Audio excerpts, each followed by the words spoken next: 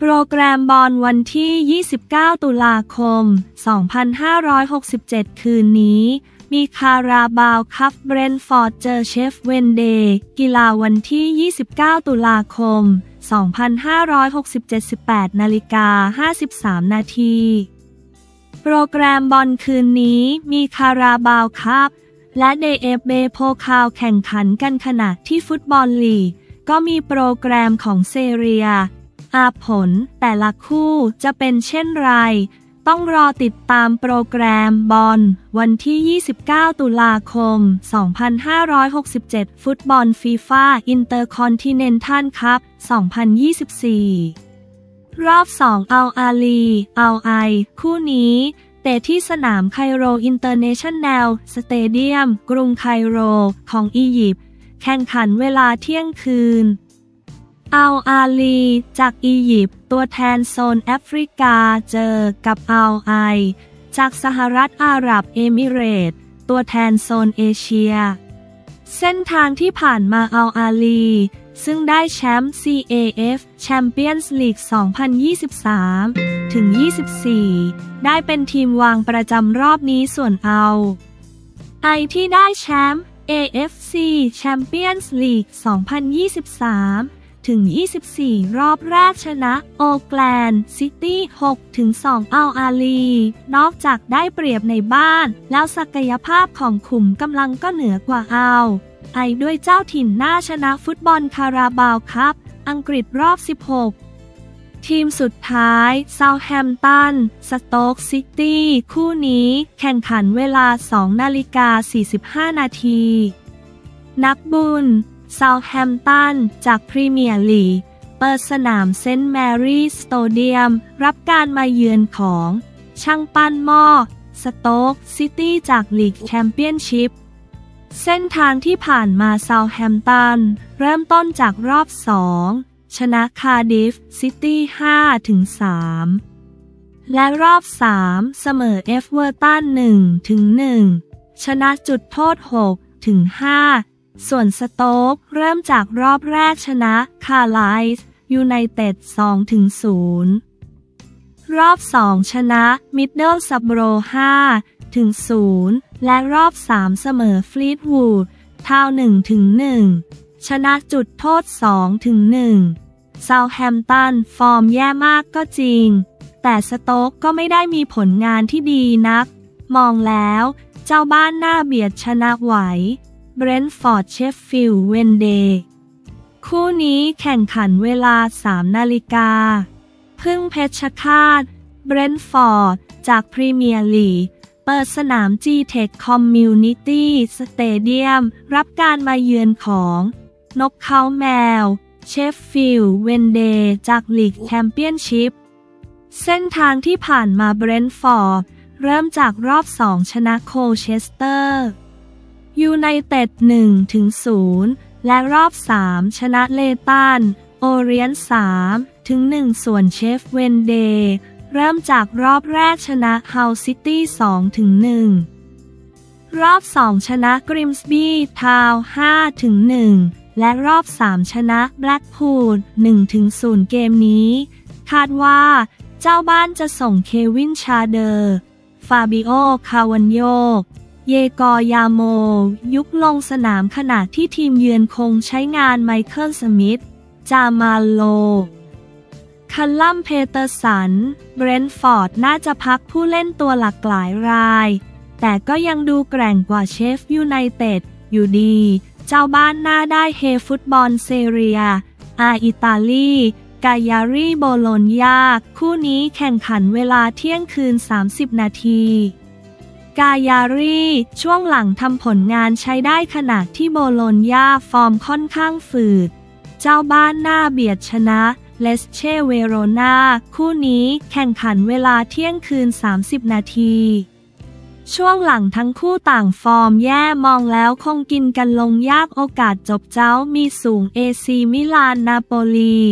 คู่นี้แข่งขันเวลา 2 นาฬิกา 45 นาที เอซีมิลานมีขุมกำลังที่แกร่งพอตัว แม้จะเจอนาโปลีที่นำจ่าฝูง แต่เชื่อว่า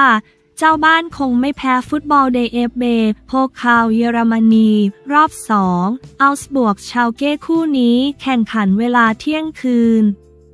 เอาก์สบวร์กจากบุนเดสลีกาเล่นในบ้านได้ดีมอง แล้วชาลเก้จากบุนเดสลีกาสองไม่น่าสู้ไหว เจ้าถิ่นน่าคว้าชัยไบเออร์ เลเวอร์คูเซน เอลแวร์สแบร์ก คู่นี้แข่งขันเวลาเที่ยงคืน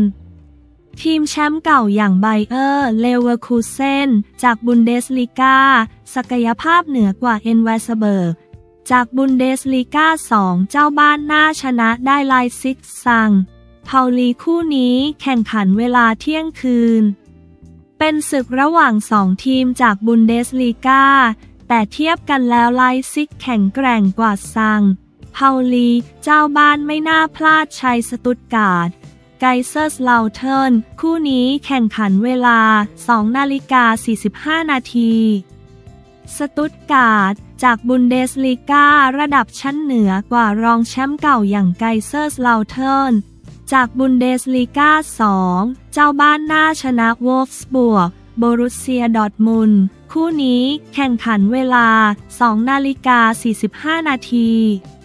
เป็นศึกระหว่างสองทีมจากบุนเดสลีกา โดยช่วงหลังทั้งคู่ฟอร์มไม่ค่อยดีเหมือนกัน มีแววว่าจะต้องลากยาวถึงการดวลจุดโทษ โคโลนฮอชตาย คิวคู่นี้แข่งขันเวลา 2 นาฬิกา 45 นาที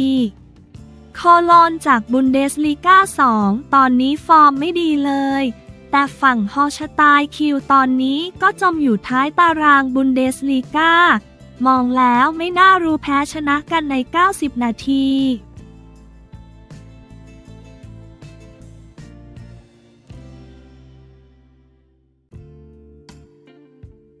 ปชนถามหาจุดยืนเพื่อไทยเอายังไงกับนิรโทษกรรม จะแก้ความขัดแย้งอย่างไรการเมือง วันที่ 29 ตุลาคม 2567 12นาฬิกา4นาทีนปชนถามหาจุดยืนเพื่อไทยเอายังไงกับนิรโทษกรรม เนบยึดหลักการพักตัวเองให้ดีไม่จำเป็นต้องเห็นพ้องกับพักร่วมทุกเรื่อง เมื่อเวลา 9 นาฬิกา 45 นาที วันที่ 29 ตุลาคม 2567 ที่รัฐสภา นายประกรณ์วุฒิอุดมพิพัฒสกุล สสบัญชี รายชื่อ และรองหัวหน้าพักประชาชน ปชน ให้สัมภาษณ์ถึงการทำความเข้าใจ ร่างพระราชบัญญัติ พรบ นิรโทษกรรมกับพักร่วมรัฐบาล เกี่ยวกับประมวลความผิดอาญา มาตรา 112 ว่าหลายเรื่องที่พักเพื่อไทย พอทอเคยพูดมาไม่ว่าก่อน เลือกตั้งหรือผ่านการเลือกตั้งไปแล้ว ตนคิดว่าพักเพื่อไทยเข้าใจดี เกี่ยวกับประมวลความผิดอาญามาตรา 112 แต่ตนไม่แน่ใจว่าด้วยข้อจำกัด อะไรทำให้วันนี้อาจมีการเปลี่ยนแปลง นายประกรณ์วุฒิกล่าวต่อว่า หากไปดูในรายงานของคณะกรรมาการ กมท วิสามันพิจารณาศึกษาแนวทางการตราร่าง พรบนิรโทษกรรม ที่สภาผู้แทนราษฎรโหวตคว่ำข้อสังเกตไปเมื่อสัปดาห์ที่แล้วกรรมาธิการของพรรคเพื่อไทยมี 8 คนมี 4 คน ให้ความเห็นด้วยกับการนิรโทษกรรม ผู้ที่ทำผิดมาตรา 112 แบบมีเงื่อนไขอีกสองคนไม่เห็นด้วย และอีกสองคน ไม่ได้ให้ความเห็น อาจเป็นเพราะเป็นประธานกรรมาธิการและเจ้าของยัตติ จึงใช้สิทธิ์งดออกเสียง ผมต้องตั้งคำถามกลับไปดังๆว่า ตัวแทนพักเพื่อไทยที่ส่งเข้าไปนั่งในกรรมาธิการ ก็มีความเห็นเกี่ยวกับคดี 112 เช่นนี้อยู่พักเพื่อไทยจะส่งร่างเข้ามาประกบกับพักประชาชน และพักอื่นๆหรือไม่ หน้าตาและจุดยืนของพักเพื่อไทยต่อเรื่องนี้ ในการแก้ไขความขัดแย้งทางการเมืองที่ต่อเนื่องมายาวนาน จะเป็นอย่างไร นายปกรณ์วุฒิเปล่าส่วนที่พักร่วมรัฐบาลหลายพักมีท่าทีว่าจะคว่ำร่างของพรรคประชาชน นายปกรณ์วุฒิกล่าวว่าคงต้องพูดคุย และสื่อสารกันทั้งในส่วนของพรรคการเมืองด้วยกันเอง รวมถึงสังคม ว่าเจตนาที่แท้จริงของเราคืออะไร เราต้องทำงานทางความคิดกันไป แต่เข้าใจว่าสุดท้าย เราต้องเคารพเสียงข้างมาก ต้องฝากว่าหากพักเพื่อไทยจะนำเสนอเนื้อหาที่อาจจะเปลี่ยนแปลงไปจากพักประชาชนเสนอไปบ้าง แต่ยังเปิดโอกาสให้คนที่กระทำความผิดต่างๆ ไม่ว่าจะด้วยฐานความผิดใด แต่แรงจูงใจมาจากทางการเมือง ได้รับการนิรโทษกรรม เพื่อนำไปสู่ความปรองดองของสังคม เราก็ยินดีที่จะเห็นชอบกับร่างที่มีหลักการที่เราเห็นด้วย อยากให้พักเพื่อไทยระลึกไว้ว่า ทุกพักแม้จะเป็นพักร่วมรัฐบาล แต่ทุกพักก็มีอุดมการมีความคิดเป็นของตัวเอง เราไม่จำเป็นต้องเห็นพ้องกันไปทุกเรื่อง ไม่ว่าเราจะเป็นพักร่วมฝ่ายค้านหรือรัฐบาล หากเรายึดหลักการของพักตัวเองให้มั่น เราก็ยินดีเห็นชอบกับร่างกฎหมาย หรือยัตติใด ๆ ที่สอดคล้องกับหลักการของพักไม่ว่า พักใดจะเป็นผู้เสนอ นายประกรณ์วุฒิกล่าว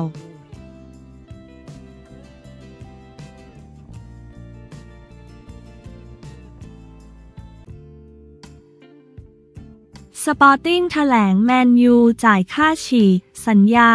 ดึงอโมริมนั่งกุนซือคนใหม่ กีฬาวันที่ 29 ตุลาคม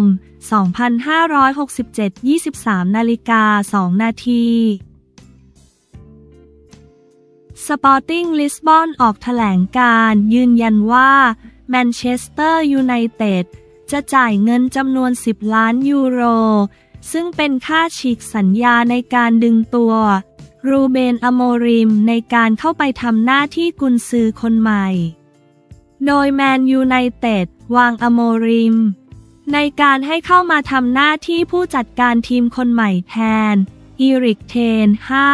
ซึ่งโดนปลดออกจากตำแหน่งไปเมื่อวันที่ 28 ตุลาคม และการเจรจาของปีศาจแดง